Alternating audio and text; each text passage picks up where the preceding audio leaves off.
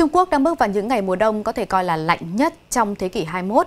Ở nhiều nơi tại miền Bắc của đất nước thì băng giá, tuyết rơi tạo nên khung cảnh tựa như tranh vẽ. Tại thành phố Thừa Đức ở tỉnh Hà Bắc, tuyết rơi dày đã biến đồng cỏ Yudaku thành một thiên đường băng tuyệt đẹp, thu hút các nhiếp ảnh gia và du khách đến chụp ảnh.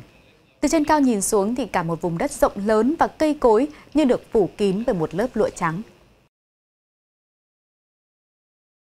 Ở khu tự trị nội mông, bao trùm khu vực đầm lầy Ogun nằm giữa biên giới Trung Quốc và Nga là khung cảnh trắng xóa. Cảnh tượng này xuất hiện là do nhiều ngày qua, nhiệt độ ở khu vực này giảm mạnh xuống âm 30 độ C.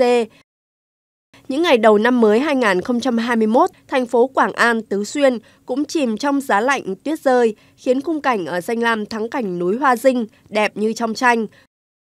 Du khách, nhất là những người hiếm được tận hưởng phong cảnh mùa đông rất thích thú tới ngắm cảnh và chụp ảnh.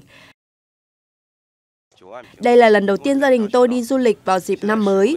Bọn trẻ đã có quãng thời gian vui vẻ. Tôi mong có thêm nhiều hơn nữa những giây phút hạnh phúc bên gia đình. Khung cảnh băng giá cũng xuất hiện trên núi Phượng Hoàng ở tỉnh Quảng Đông. Khi nhiệt độ xuống dưới 0 độ C, những tảng đá gần bờ sông được bao phủ bởi lớp băng trông như pha lê.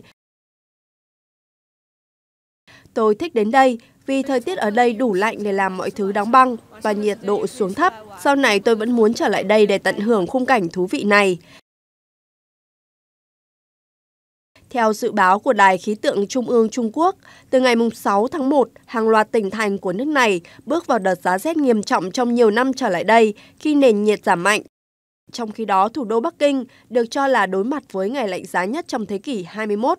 Nhiệt độ thấp nhất trong ngày có thể xuống tới âm 18 độ C, phá kỷ lục trước đó là âm 17 độ C đo được vào năm 2000.